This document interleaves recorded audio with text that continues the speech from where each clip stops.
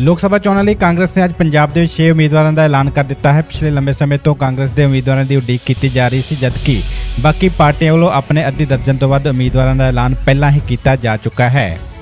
ਬੀਤੇ ਦਿਨ ਸ਼੍ਰੋਮਣੀ ਅਕਾਲੀ ਦਲ ਦੇ ਵੱਲੋਂ ਵੀ ਆਪਣੇ ਉਮੀਦਵਾਰ ਐਲਾਨੇ ਗਏ ਸਨ ਅਤੇ ਅੱਜ ਕਾਂਗਰਸ ਨੇ ਆਪਣੀ ਪਹਿਲੀ ਸੂਚੀ ਜਾਰੀ ਕੀਤੀ ਹੈ, ਜਿਸ ਦੇ ਤਹਿਤ 6 ਉਮੀਦਵਾਰਾਂ ਦਾ ਐਲਾਨ ਹੋਇਆ ਹੈ। ਅੱਜ ਜਾਰੀ ਕੀਤੀ ਗਈ ਸੂਚੀ ਦੇ ਵਿੱਚ ਅੰਮ੍ਰਿਤਸਰ ਤੋਂ ਮੌਜੂਦਾ ਮੈਂਬਰ ਪਾਰਲੀਮੈਂਟ ਗੁਰਜੀਤ ਸਿੰਘ ਔਜਲਾ, ਜਲੰਧਰ ਤੋਂ ਸਾਬਕਾ ਮੁੱਖ ਮੰਤਰੀ ਚਰਨਜੀਤ ਸਿੰਘ ਚੰਨੀ, ਫਤਿਹਗੜ੍ਹ ਸਾਹਿਬ ਤੋਂ ਮੌਜੂਦਾ ਮੈਂਬਰ ਪਾਰਲੀਮੈਂਟ ਅਮਰ ਸਿੰਘ, ਬਠਿੰਡਾ ਤੋਂ ਜੀਤ ਮਹਿੰਦਰ ਸਿੰਘ ਸਿੱਧੂ, ਸੰਗਰੂਰ ਤੋਂ ਸੁਖਪਾਲ ਸਿੰਘ ਖਹਿਰਾ ਅਤੇ ਪਟਿਆਲਾ ਤੋਂ ਡਾਕਟਰ ਧਰਮਵੀਰ ਗਾਂਧੀ ਨੂੰ ਕਾਂਗਰਸ ਨੇ ਮੈਦਾਨ ਦੇ ਵਿੱਚ ਉਤਾਰਿਆ ਹੈ।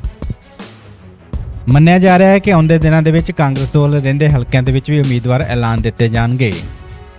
Bureau report, Punjab today